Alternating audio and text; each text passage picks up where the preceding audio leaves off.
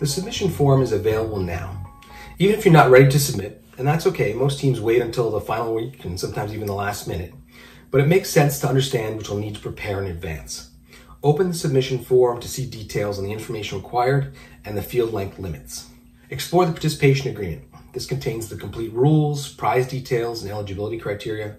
And if you think you're ready, feel free to submit your application already. If things change, just submit again using the same email address. We'll take the last submission from that email address as the final one. My first submission tip is don't reinvent the wheel. As you brainstorm your solution, look at other solutions that may exist already. There may be existing tools, data sets, and APIs that you can build on. Your solution will have the greatest impact if it addresses a long-standing problem that doesn't have an existing solution. It'll also be more valuable if it builds on something that's already widely used. Maybe a commercial product, maybe an open source project, something else maybe with an API. It's also important to look at standards and protocols that can, you can implement or leverage, such as the OASIS EDXL format. My second tip is to document your source code repository very well. That goes beyond what goes in the submission form.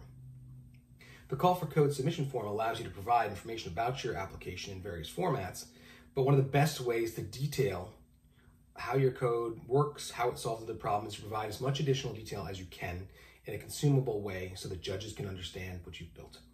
And a great way to do that is to start with a great README file.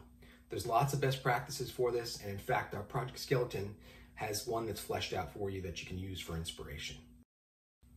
Invest the time to create a powerful video.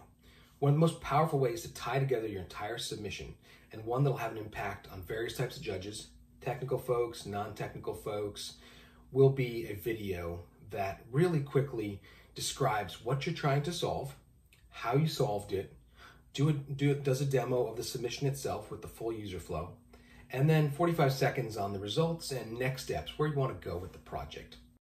Finally, double check the permissions on the video and source code repository that you provide in the submission form. There's no way for the judges to assess something if they can't get access to it.